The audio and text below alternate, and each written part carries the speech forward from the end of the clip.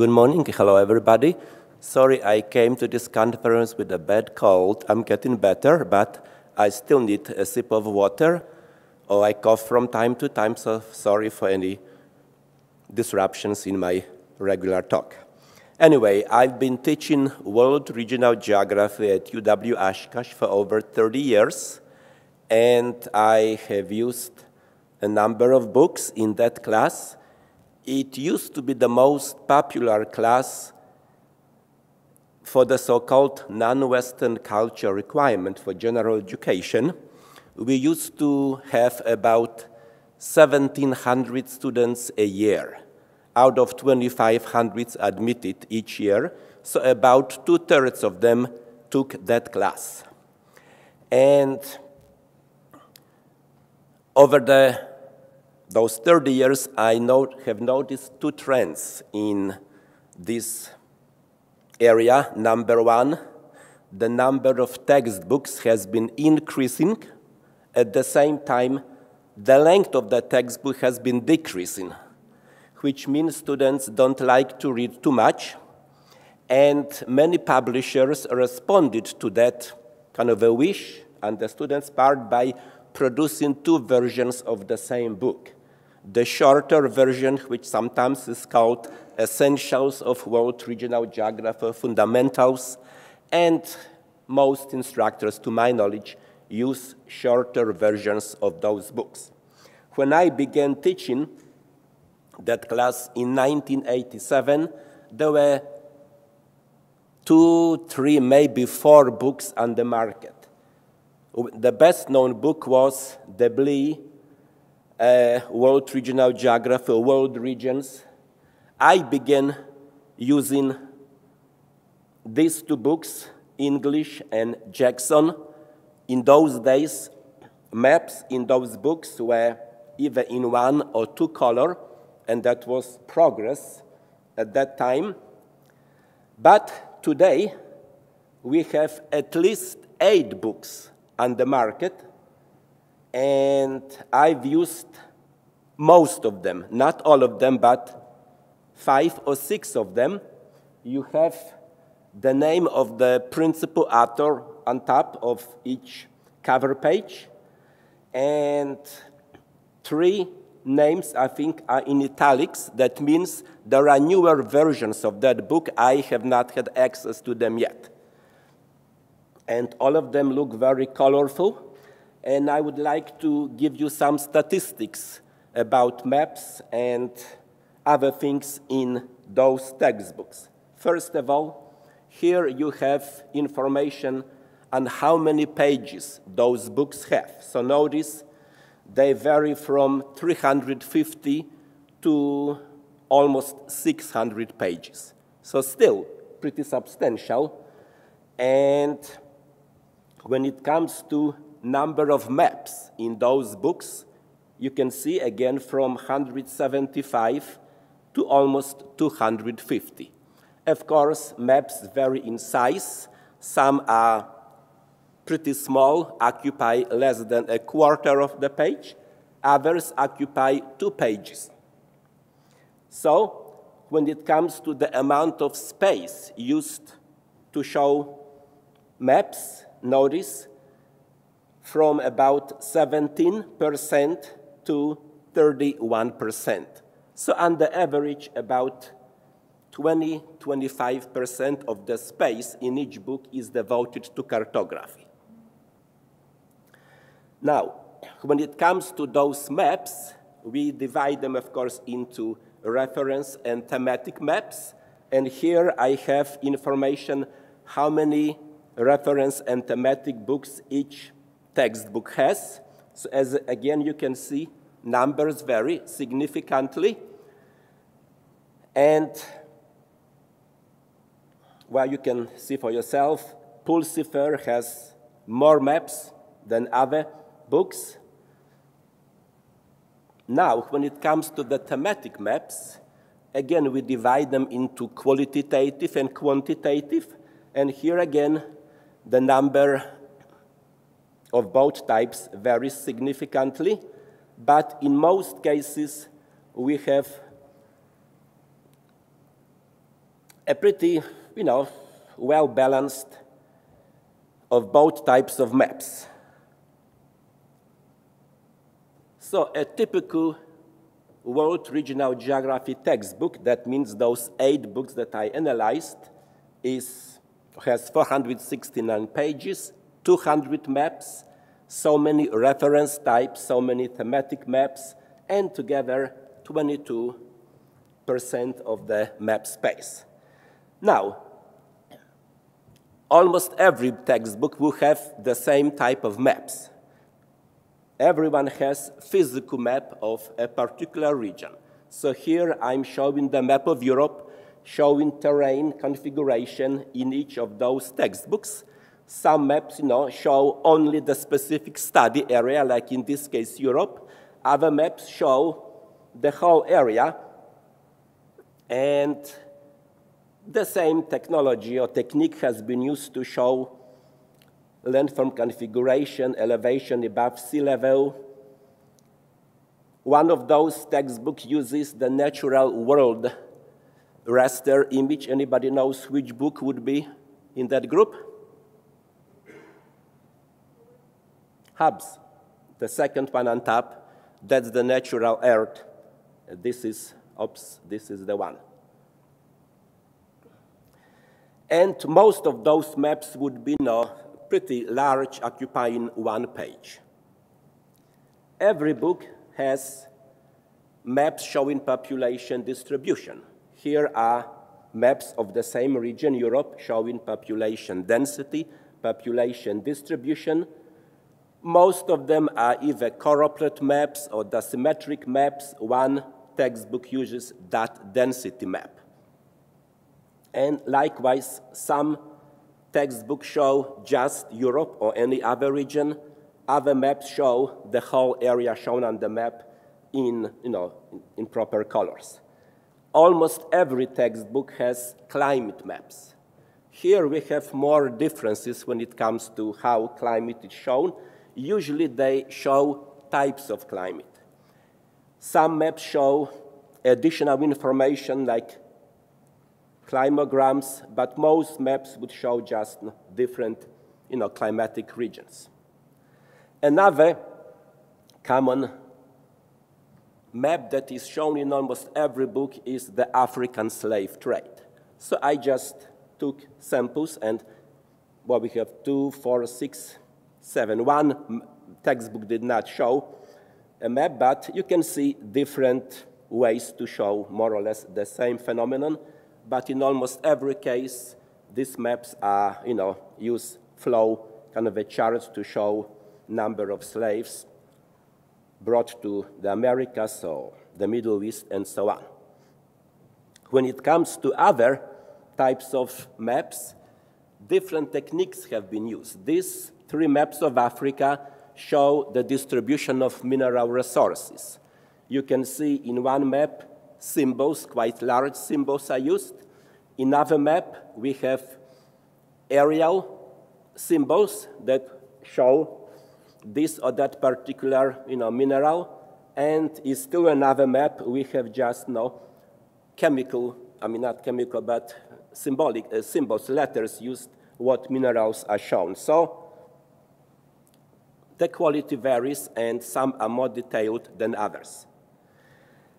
However, some textbooks have some big errors, not done on purpose. For example, these two maps come from the same textbooks. I will not name those textbooks, but one map shows sub-Saharan Africa, the other South Asia.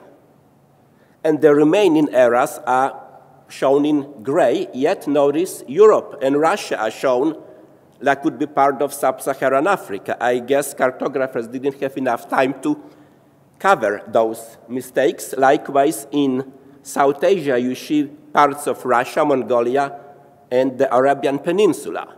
Again, somebody forgot to cover those areas. So such things do happen in many textbooks. Here we have two maps and the first map showing fertility in India, in my opinion, the choice of colors is not very good. Could be a bit better. And the map of Iran supposed to show something, but the legend is completely blackened.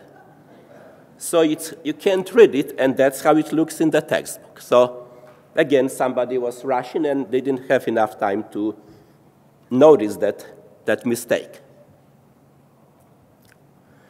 There are some design errors and some content errors. The first part shows map of China and map of the Middle East, and proportional symbols are used to show income per capita. You should not use proportional symbols to show relative data. You should use them to show absolute data. So that can be easily corrected, but it was done that way. The map of China shows pie charts, again, income per capita shown on pie charts between rural and urban population. That's the best way to show this type of information. And the map of Europe has some content errors. This map shows religions in Europe. And if you look at Lithuania, for example, it's predominantly Catholic, yet it is shown as Protestant. On the other hand, the Kaliningrad area, which is part of Russia, but between Poland and Lithuania, is really Eastern Orthodox, yet it is shown as uh, Catholic. On the other hand, Switzerland is shown as completely Catholic country, which is not the case. So there were some errors of that type too.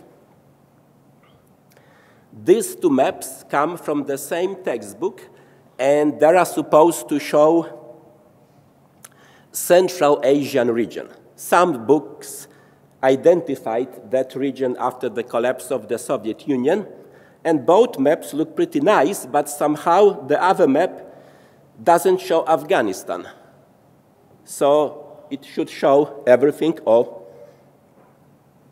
something like that. Here I have some maps that show something, but notice the three maps on one page show this in the same color United States and Canada. They really don't show too much. There are maps of the world that are more detailed, yet they are barely visible. So I would reverse the things, but that's how it was done. These two maps show the same thing for two different years percent of population, I think that's Hispanic.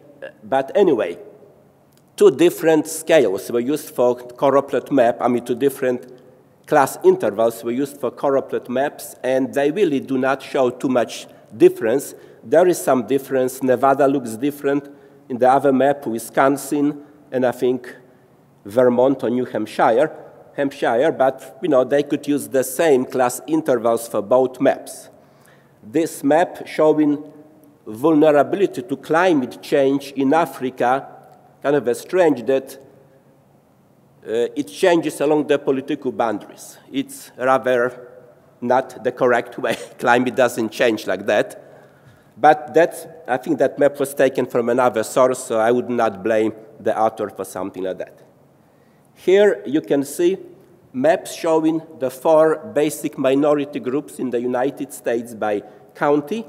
And again, each map has its own class intervals. And if you look at that map, you may come to the conclusion that Native Americans comprise the largest group because there are everywhere in the western part of the country.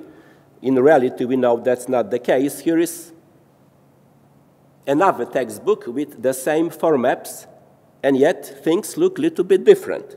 Now, when we look at both these two maps, then we see it really depends how you show things. Well, first of all, the first map shows percent of population, that's the other map in blue shows total number of people, which you should not show on choropleth maps absolute values either.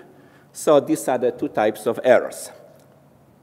Here we have two maps of the former Soviet Union in two different projections. And one, of course, shows a climatic map, and one shows landform configuration. I like, you know, when you, when you show the certain region, you use the same projection for all the maps. So there are eight books, and there are all of them pretty nice, now with some issues here and there. Well, I decided to write my own book, and the first prelim preliminary version just came a month ago or so, and I'm using it in my class. So that book, um, uh, two colleagues helped me to complete it. Here is some statistics about that book. So the difference is that that new World Regional Geography books has more maps and many more thematic maps. And they occupy more or less the same amount of space, about a quarter of book space. And I'm just going to show you some examples of the maps that will be in that book, or are in that book. Again, I use the natural earth to show landform configuration for every region. I used combination of choropleth and proportional symbol map to show population distribution in each region. And this was the most time-consuming map to make. I make the map for the whole world and then for each region. I think I spent about six months to collect the data at the subnational level for every country to have this type of a map. Then I used a raster image for world climate data to show precipitation and temperature with climograms for each region. I made my own map showing the transatlantic slave trade, showing the amount of slaves shipped from Africa and where they went, also the amount of slaves shipped in different decades. This book also will have some maps that you may not see in other maps, I mean, textbooks, for example. Oops, my time is up, so these two maps show natural hazards, and this map shows levels of urbanization. Well, I have to finish at this time, so any questions, I would be happy to answer. I have a few more maps that I want to show you. This map shows labor camps in the former Soviet Union that Stalin generated. You will not see maps like this type in most books. It took me some time to collect information on that.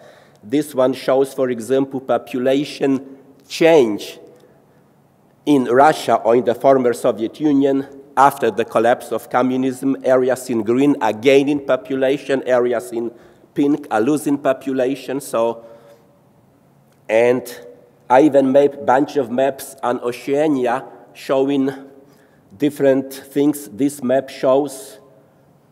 See, sometimes I don't even remember what I made because it's such a small text I can read it. I have maps like story of Israel and the Middle East process, or map showing Aboriginal population and the Maoris people in Australia and New Zealand, respectively. So this book has lots of maps, thematic maps, mainly quantitative maps. Well, thank you very much.